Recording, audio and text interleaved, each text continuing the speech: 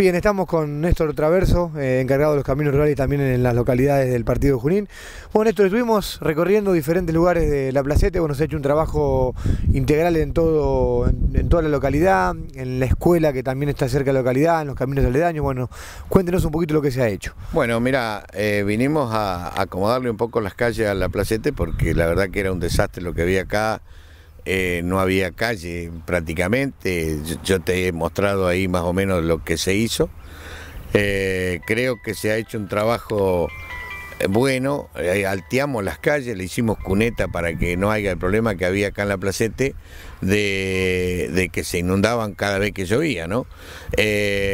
pusimos una alcantarilla en el camino que es para el tránsito pesado, que salga de la empresa que está acá, que salgan a la ruta para que no nos rompan los tubos que hay en las calles. Es un camino especial solamente para tránsito pesado. Sí, sí, tránsito liviano y pesado, pero ese va a ser especial para que salga el tránsito pesado. Eh, ya le pedí a la gente de la cooperativa eléctrica dos postes, tres postes precisamos, para poner un arco para que no entren tanto los, los, camiones, que no entren más al, al pueblo para romper, porque es una lástima, ya que lo arreglamos le estamos dejando las calles a la gente que vive en la placete transitable. Y vos te podés imaginar que los camiones cargados, hay lugares que hay tubos y están rotos, bueno, tenemos que venir a cambiar algunos tubos rotos, ¿no? Bien, también lo que vemos en las calles que sean, eh, son más anchas, antes estaban muy, muy, muy finitas, ¿no? No existían casi las calles, Real, realmente eran unas calles muy finitas, todo, las ensanchamos, bueno, se hizo lo que corresponde hacer en, todos lados. Es lo mismo, lo hice en el pueblo, igual que lo que hago en la red vial, que, que entonces el productor anda tranquilo y acá el, que vive en la placete anda tranquilo, que las calles son anchas, están bien abovedadas y no van a tener problemas de inundación, ¿no? Bien, también estuvimos recorriendo lo que es el camino que va a la, escuela que funciona aquí cerca de la placeta, también con el camino todo arreglado. Eh, claro, no, está todo arreglado.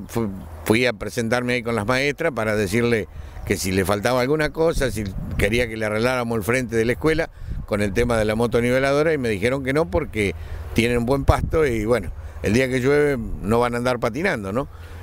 Bien, y también un camino que está que va paralelo a lo que es la vía, que corta por aquí por la placeta. Exacto, estamos haciendo el camino que va al fondo de la laguna, que costeando la vía, eh, poniéndome de frente a la, a la vía, es el de la derecha, vamos a hacer ese ahora y después vamos a hacer uno que va por dentro de los campos para que los productores saquen la, cosecha a tiempo.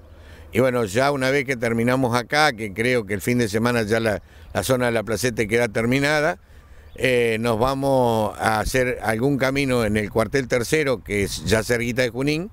Después vamos a hacer Zaforcada, el pueblo, y vamos a arrancar eh, para mm, para el camino del puente Morote, que lo, vamos a, trabajar un poco, pues no lo podemos hacer el alteo que íbamos a hacer, porque justo está en el momento de la cosecha. Le vamos a colocar tubos, que ya está hablado que le vamos a colocar los tubos por cualquier emergencia de inundación, ya los tubos están puestos. Y vamos a tomar el camino que va a Bermúdez y lo que es la zona de Blandengue. Vamos, lo que pasa es que al no tener maquinaria es muy difícil.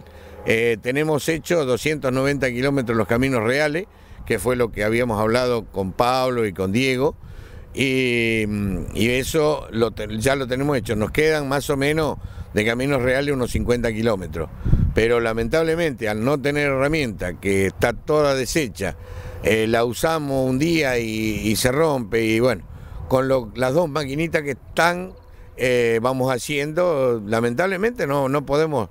Eh, ahora sí está la posibilidad que vamos a, Estamos haciendo, la gente del municipio está haciendo los trámites para alquilar alguna máquina para poder adelantar un poquito los trabajos. Y después, lo que hay que destacar es la predisposición que tienen los maquinistas de cuidar sus máquinas, cada cual cuida la suya y se trabaja tranquilo cuando vos tenés gente que tenés confianza, yo principalmente tengo confianza de lo que hacen. Yo los acompaño porque vivo con ellos voy a todos lados donde están trabajando, si tengo dos campamentos en el día voy dos veces por lo general y si no me tienen que llamar por teléfono cualquier problema que tengan. Pero hay que destacarlo que el empleado municipal, que son los que andan arriba las máquinas, cuidan las máquinas y hacen los trabajos como corresponde, ¿no?